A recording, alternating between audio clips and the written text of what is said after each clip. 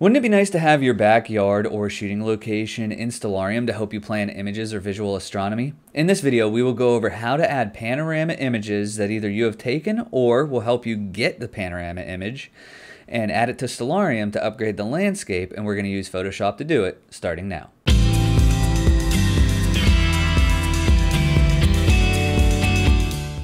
Hi there, my name's Dalen. Here at Astro Escape, we go over all things astrophotography starting from the very beginner level and working our way up. If you're new here, if you like what you see as you're watching the video, please consider giving this a like. Let's get started. Stellarium comes with a bunch of landscape textures to choose from, and even some fun ones like the moon and Mars. But it's always awesome to have your location as the landscape texture just to help you out. That way you know where the trees are, where your neighbor's house is blocking the sky, whatever the case may be. All right, as we get started, if you already have a panorama image saved, go ahead and just go to the time uh, showing up on the screen right now. If you don't already have one, you have a couple options. And the first one is, if you're going somewhere popular, check Stellarium's website. Some very popular areas like Lowell Observatory or Cherry Springs State Park already have the ground textures, and there's not much else you need to do other than just import it in. But if you don't have a panorama image, we're going to go over how you can acquire one if you are going somewhere that maybe you haven't been to yet, or you just don't have the option to go get the image right now. All right, let's assume you've already checked Stellarium's website and they don't have the pano there, but it is still kind of a popular area you can still add images using Google Maps. So we're going to go ahead and go into Google Maps. Okay, so I frequent Mingo Creek Park Observatory quite often. Uh, I am part of the club that owns this observatory. What you can do is actually just go into Street View and you can look for the little dots in the area and just check and see if any one of them is a panorama. So like this one is a panorama, but you also want to check the area. So I usually, when I go to Mingo Creek, actually shoot from around here where this pano is.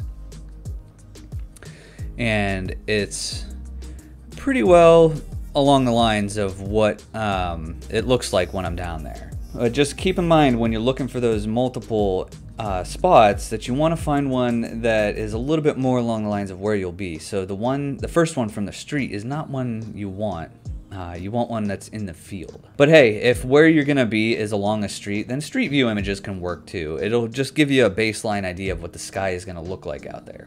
All right, and the other thing you're gonna wanna watch out for too is as you're looking around, keep an eye on the compass uh, down in the bottom right and just make sure that it lines up uh, with how you think it'll look or if you've been there, how it actually does look. Now I know that Polaris actually is somewhere, you know, up here uh, over the observatory from that spot on the field. All right, so if you're having problems figuring out where north is, you can just back it out to the satellite view again and then pay attention to the compass and just look and see what is actually north. So for me, it's the building, so I know that that's where I'd want to line things up. So before we move on, we need to save the coordinates and the altitude. In the description, there's text you'll need to copy into Notepad that looks very much like what you're seeing on screen. This text helps Stellarium locate the image file and also uses coordinates and altitude so it is location accurate. Just paste it into Notepad and minimize it for now. We'll get back to it here in a minute. All right, so going back into Google Maps, to get the coordinates, all you have to do is right click anywhere just very close to where you're going to be shooting, and then just click on the coordinates that pop up. This saves it uh, as if you're copying it, and then we can move on to the next step. So down in the description, there is a link to earthpoint.us. Go ahead and head over to earthpoint, and then in the position box, go ahead and just right, right click and paste those coordinates and then hit calc. All right, after hitting calc, we're gonna see a table pop up and this has the latitude and longitude. What we're gonna do is go to one more website and find the altitude. So going back into the website, we are going to copy to the fourth decimal place, the latitude. Anything beyond that, it doesn't like.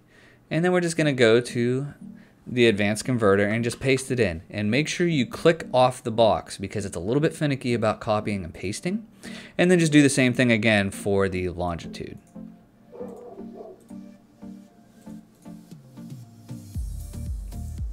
And then go ahead and hit search and it'll show up roughly where you are. And if you want to, you can scroll in and just verify that it is pretty much exactly where you right clicked on the map on Google Maps. And here you have your altitude up at the top. So what you want to do is copy the altitude in meters and then take it to that notepad and just paste it in without the M. And then we can go ahead and just minimize it again. Back on the EarthPoint website, we do need the latitude and longitude to put into that notepad document. So what we're gonna need is the degrees, minutes, and seconds, and that is the third row here down at the bottom. So all we're gonna do is go ahead and copy the latitude and we're gonna paste it in. And if you notice here on the notepad, there is a little plus sign. So if you are somewhere where it is plus, make sure that the plus symbol is there. And if there's a minus, you make sure that is there as well. And you also want to get rid of the degree symbol as well and just put a small d there instead.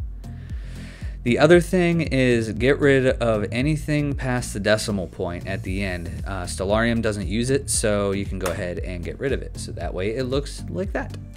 And then just go ahead and do the same thing for longitude. Uh, you can go ahead and save it just so you don't lose anything. Uh, just make sure that you change the file type to all files and then just make sure you save it as landscape.ini. Put it in a new folder somewhere that you know where it's going to be go ahead and name that folder the location you want to use. If it has multiple words in that location, make sure there are no spaces.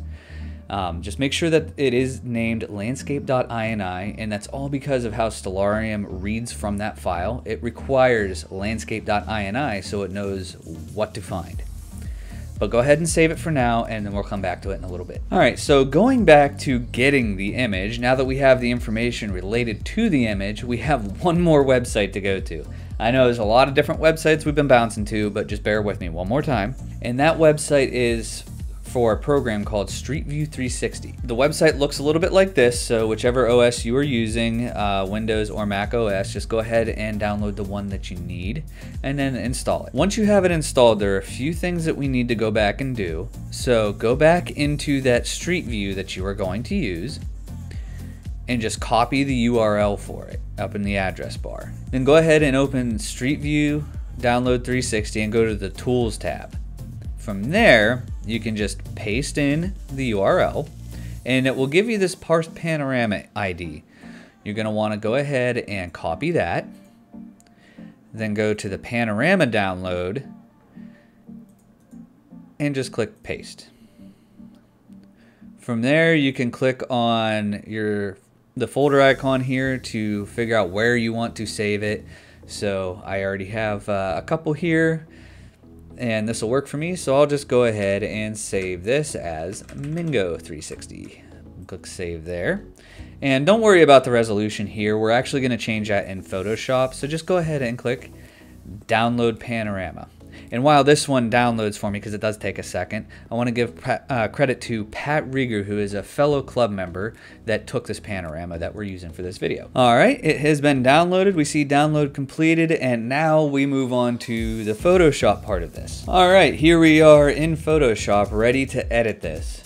So there are a few things that we need to do first. Uh, one is resize it, and then we have to erase the sky.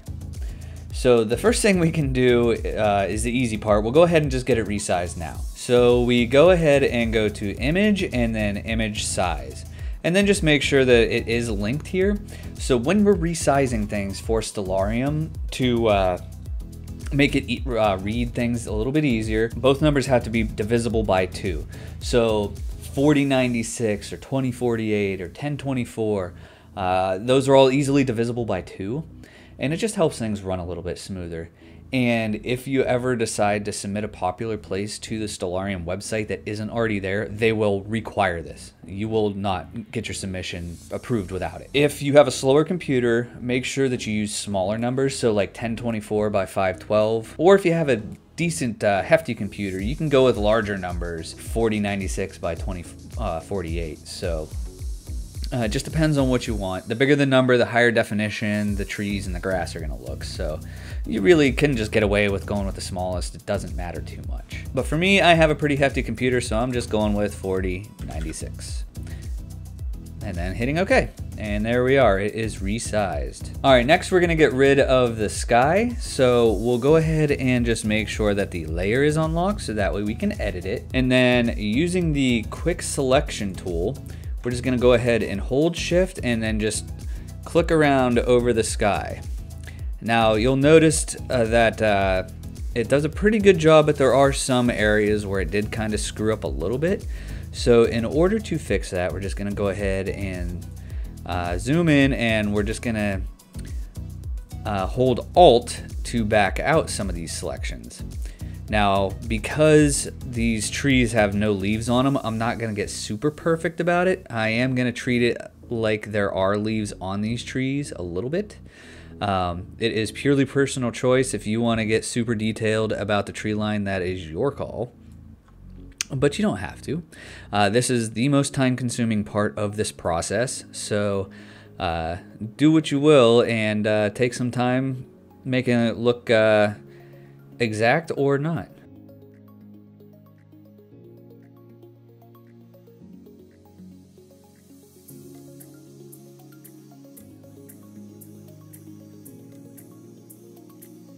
All right, once you are comfortable with your selections, just go ahead and press delete.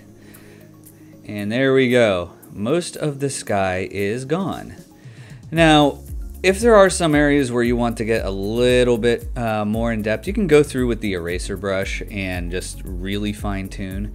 But like I said, uh, along the horizon there, if there's trees and the picture that you have is a treeless picture, then treat it as if there are leaves already on the trees. And this is perfectly fine for uh, how I like it. And the other thing is too, is if you have a lot of fine details like telephone poles or lines, uh, like phone lines and stuff, and there are just like little dashes and stuff uh, through the sky, just go ahead and touch that up. So that way those are taken care of. All right, and that is it with the Photoshop part of the image. So all we have to do is take the image and save it into the same folder as the notepad file that we were working on earlier, just save it as a .png and you can just name it the location that you want. Some uh, other guides I've seen says name it landscape.png. You don't have to do that.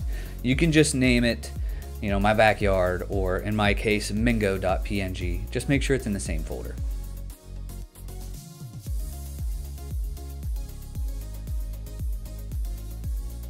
All right, so we're on to the last step. So back in the notepad file, there are a few things in the notepad file you definitely want to change. The first one is the name, which I have highlighted here. That is what you'll see in the list as you're choosing through to get to your landscape. So the description, this can be whatever you want it to be. If you look at other locations such as Geneva, list what's actually showing. Uh, anything after the equal sign show up. Sometimes there are credits to the uh, person who took the image in the description. Type, it needs to be spherical, okay? And the map text, remember how I said we need to save it as a PNG, but it can be the location? As long as this is the name of the erased sky PNG that you made, so in my case, it'll be mingo.png. So for you, it might be mybackyard.png. As long as it's the same thing and it's in that folder, it'll find it. We've already done the latitude and longitude and altitude. The last thing here is the angle rotate Z. We're not worrying about that for now. We want to see how it looks in Stellarium as is. We're gonna fix that here in a minute. Okay, after we're done with that file, we just wanna go ahead and save it and then go to the folder where both things are saved. So your landscape.ini and your image that we've uh, either pulled from Google Maps or edited from one that uh, you have taken yourself. And then we are going to copy this folder and we're going to go into uh, where Stellarium is installed. So in most cases now with Windows 10, it is program files, Stellarium, and then landscapes is where the, la the uh, landscapes are all saved. And just go ahead and paste your new uh, configuration here into uh, the landscapes folder. It'll yell at you for admin credentials. Just go ahead and just say continue. From there, let's go ahead and open up Stellarium. All right, now that we are in Stellarium, we just need to do a few things. The first is change your location to match where your landscape will be. If you don't know how to do that, check the intro to Stellarium video popping up on the screen right now. And then we're gonna go ahead and go into landscapes and set the landscape to the new one we just made. All right, so opening up the landscapes tab, you should see the name of the location you just added. If not, go back to the .ini file and make sure that the map text matches the name of that PNG. I cannot stress the importance of that enough. It will not show up if the file name is not exactly what's in that text file. If this is here, go ahead and click on it. And already I can tell, hey, I'm a little bit here. But now just to help us out as we go through this process, go ahead and check the use this landscape as default box. So it might not line up right away when you first uh, open this up, and we're gonna have to do that rotation thing. So just closing and opening Stellarium, this will help. Now we can go ahead and close the window and start spinning around and making sure things line up. And if you remember earlier, I said that north is actually above the building itself. And well, if you can tell here, it looks like it's pointing east. So the way to fix that is go ahead and close out of Stellarium. All right, once we're out of Stellarium, we have to go back into where it's saved in the Stellarium folder and this is the annoying part. Stellarium doesn't like it when you edit anything in the folder, so uh, it's better to just copy it back out to the initial folder that we had things in. Go ahead and edit this INI file, and what we're going to want to do is uh, change the angle rotate Z to any number between 0 and 360. Base this on how far off of north things look for you. So if when you looked at the uh, image and it was actually looking south when it should have been looking north, just go ahead and put 180 in. If it looks like it's a little bit to the east or west, then put 90 or 270 in. Uh, just pick a number, put it in. So for me, I'm doing 90 and uh, we'll go from there. So you can save the file and then copy and paste it back in here. And when it yells at you, just go ahead and say yes. And then go ahead and open Stellarium back up. Popping back in here, it already kind of looks a little bit like it's supposed to. I mean, north is not exact, but it's close. So let me darken it up a little just so Polaris shows up. All right, so after looking at this, for me, it's fine. It's close enough for my purposes, but if you want to tweak it just a little bit more here and there to get it exact, that's your call. Once you have north under Polaris or south under Crux, and it's fine for you, then congratulations, you have added your landscape. And just for a question for today, I want to know what landscape did you add? Did you add somewhere popular? Was it just your backyard? Let me know down in the comments below. If you found this video helpful, please do like, comment, subscribe, and then hit that little notification bell so that way YouTube does tell you when I upload the next video. I want to thank you for watching. Clear skies.